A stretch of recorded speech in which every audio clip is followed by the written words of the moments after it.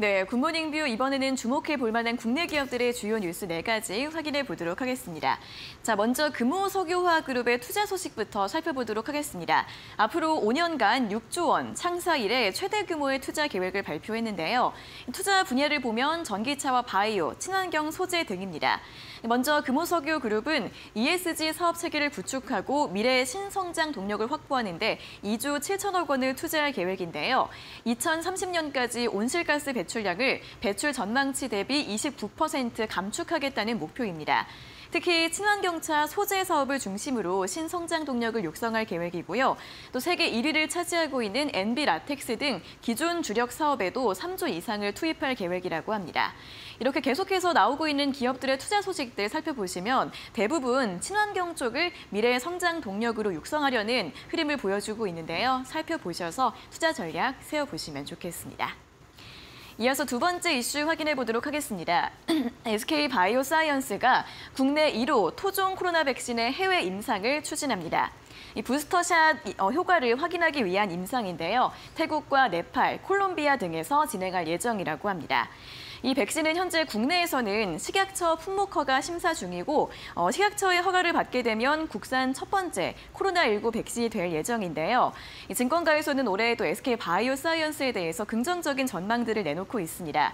최근에 수두 백신의 중남미 진출 소식도 있었고 또 이 코로나 백신도 전 세계에 공급을 하게 되면 올해 매출은 전년 대비 27% 증가하면서 1조 원을 돌파할 것으로 전망을 하고 있는데요. 다만 아직까지는 이러한 기대감이 주가에 반영되지 못하는 흐름을 보여주고 있습니다. 앞으로의 전망들도 꼼꼼하게 확인해 보시면 좋겠습니다. 이어서 다음 이슈 살펴보도록 하겠습니다. 현대 엔지니어링이 4세대 초소형 모듈 원전 사업을 본격적으로 추진할 예정입니다.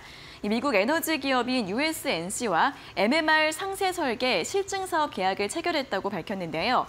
이 MMR은 차세대 이 원전 기술인 SMR 중에서도 매우 작은 규모의 원전으로 혁신 기술로 꼽히는 분야라고 합니다. 이번 계약으로 상세 설계 단계를 거치면 2026년에는 상업 운전에 들어갈 것으로 보이고 2029년까지 더 많은 국가들을 대상으로 사업을 확대할 계획이라고 합니다. 최근 전 세계 원전 업계는 SMR 기술 개발에 뛰어들고 있는 상황이고 또 현대 엔지니어링은 이 SMR과 MML 사업에서 두각을 나타내고 있다고 하는데요. 이런 원전 이슈들과 기업들의 움직임 계속해서 살펴보시면 좋겠습니다. 자, 마지막 이슈 확인해 보도록 하겠습니다. 현대차의 고급차 브랜드인 제네시스가 지난달 글로벌 누적 판매 70만 대를 돌파를 했습니다. 지난 2015년 브랜드 출범 이후 약 6년 만이라고 하는데요. 특히 그 가운데에서도 전동화 모델인 G80가 가장 많이 판매가 됐다고 합니다. 반도체 수급난이 계속 이어지고 있는 가운데에서도 고급차 선호 현상이 뚜렷하다라는 분석이 나오고 있고요. 또 제네시스의 판매 속도가 점점 더 빨라지고 있기 때문에 내년 중순쯤에는 100만 대를 돌파할 것으로 전망이 되고 있습니다. 어, 1분기 전 세계적으로 전 세계 반도체 자동차 판매가 줄었음에도 불구하고 이렇게 현대차의 실적을 방어한 것은 고가 브랜드 제네시스의 활약 덕분인데요. 이 소식 역시 실적에 긍정적인 부분일 것 같습니다. 앞으로의 전망들도 함께 확인해 보시면 좋겠습니다.